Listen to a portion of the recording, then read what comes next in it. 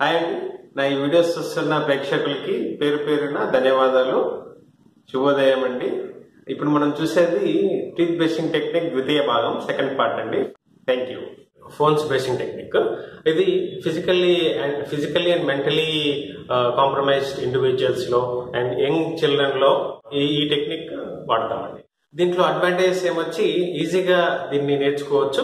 Uh, తక్కువ టైంలో ఈ బ్రషింగ్ టెక్నిక్ అనేది అయిపోతుంది చేయడం. కూడా ఓవర్ జిల్లెస్ అంటే బాగా గట్టిగా బ్రష్ చేయడం వల్ల గమ్కి ఇంజరీ అవే ఆస్కారాలు ఎక్కువ ఉన్నాయి. ఇలా పైన పళ్ళు కింద పళ్ళకి దగ్గర తెచ్చి బ్రష్ రెండు పళ్ళ మీద ప్రెషర్ పెట్టి రౌండ్గా ఇలా బ్రష్ చేయాలి.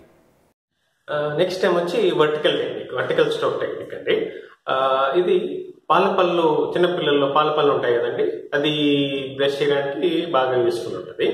అదే కానీ పెద్దవాళ్ళలో పర్మనెంట్ టీత్ డెంటిషన్ వస్తుంది కదా.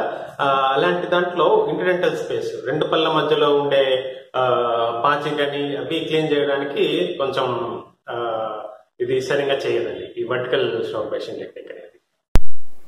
ఇక్కడ చూస్తారు కదండి యారోస్లో చూపించే విధంగా చేయాలి బ్రష్ నెక్స్ట్ టైం వచ్చి చార్టర్స్ చార్టర్స్ మెథడ్.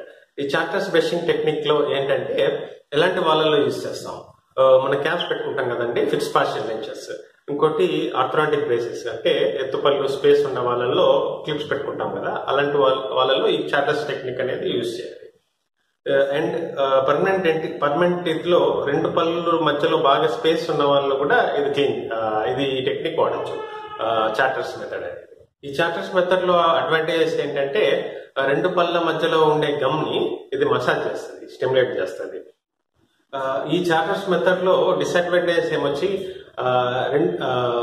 చిగురు లోపల భాగంలో ఉండే బ్యా- బ్యాక్టీరియాని క్లీన్ చేయలేదు. పాచి కానీ ప్లాక్ కానీ డెబ్రిస్ కానీ చిగురు లోపల భాగాన్ని క్లీన్ చేయలేదు. ఎందుకంటే ఇప్పుడు క్లిప్స్ అడ్డుపడతాయి. సో ఆ బ్రష్ చిగురు లోపల భాగాన్ని సరిగా క్లీన్ చేయలేదు. ఈ టె- ఈ లో పిక్చర్లో చూపించినట్టుగా tooth brush forty five degrees యాంగిల్లో పెట్టాలి. బ్రెజిల్స్ పంటి ఎడ్జ్కి చూపించేలా ఉండాలి. వైబ్రేషన్ మోషన్ చేయాలి. ఇంకోటి స్క్రబ్ మెథడ్ అండి. స్క్రబ్ మెథడ్ అంటే సింపుల్ మనం చిన్నప్పటి నుంచి ఇదే వాడతాం. మన డెంటిస్ట్ చెప్పే వరకు మనకు తెలియదు మన పేషెంట్స్ కూడా తెలియదు ఇట్లా ఎలా బ్రష్ చేస్తారంటే ఇలా అడ్డంగా తోముతాను అడ్డంగా అసలు తోమకూడదండి వర్టికల్గా బ్రష్ చేయాలి ఎప్పుడు కానీ. పైకి కిందకి బ్రష్ వాడాలి. సైడ్స్ కానీ ఫ్రంట్ కానీ ఈ సైడ్స్ కానీ ఎప్పుడు వర్టికల్ స్ట్రోక్స్ ఇస్తే పంట మధ్యలో ఉండే బ్యాక్టీరియా కానీ బ్లాక్ డెబ్రిస్ కానీ పాచు పదార్థాలన్నీ క్లీన్స్ అవుతాయి క్లీన్ అవుతాయి అనమాట దీని ద్వారా. సో ఈ స్క్రబ్ మెథడ్లో డిసడ్వాంటేజ్ ఏమొచ్చి ఓవర్ జిలస్ మళ్ళీ సేమ్ గట్టిగా బ్రష్ చేయడం వల్ల గట్- ఆ, అరగదీయడం వల్ల బాగా ఏకేసరికి ఈ పంటి పంటికి చిగురికి మధ్యలో అబ్రేషన్స్ ఒక హోల్ లాగా ఫామ్ ఫామ్ అయిపోతుంది దానివల్ల సెన్సిటివిటీ జిల్లనడం మళ్ళీ దానికి సిమెంట్ పెట్టుకోవడం అవన్నీ చాలా ఖర్చుతో కూడిన పనులు అనమాట సో ఇప్పుడు కానీ వర్టికల్గా బెస్ట్ చేయాలి పైకి కిందికి బెస్ట్ చేయాలి. ఈ పిక్చర్లో చూసారా? ఇలా అడ్డంగా తొమ్మడం వల్ల పళ్ళు అరిగిపోయాయి చిగురు అరిగిపోయాయి నేను నార్మల్గా సజెస్ట్ చేసేది టూత్ బ్రషింగ్ ఏంటంటే బాస్ టెక్నిక్ అండి. మాడిఫైడ్ బాస్ టెక్నిక్ కూడా యూజ్ చేయొచ్చు. అంటే ఎలాంటి చిగురు వ్యాధి లేని వాళ్ళు చిగురు అరిగిపోయిన అరిగిపో- అరిగిపోతాయి కొందరికి. అది లేని వాళ్ళు అది లేని వాళ్ళు Bass technique modified Bass technique ఉపయోగ ఉపయోగించేయచ్చు ఆ టెక్నిక్ని.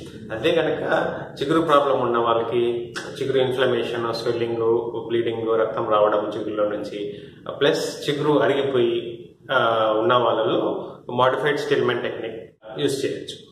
వెరీ మచ్ థ్యాంక్ యూ అండి. నా వీడియోస్ని బాగా ప్రజలు ఆదరిస్తున్నారు. థ్యాంక్ యూ ఇలాగే ఇంకా కొన్ని వీడియోస్ వీక్షించి please like comment and share అండి. ఈ వీడియోస్ ఇంకా మీకు బాగా ప్రోత్సాహాన్ని కలిగిస్తే కొత్త వాళ్ళు కనుక ఈ వీడియో చూస్తే కనుక please subscribe and press the bell icon అండి. Thank you have a nice day thank you bye జై Hind stay home stay safe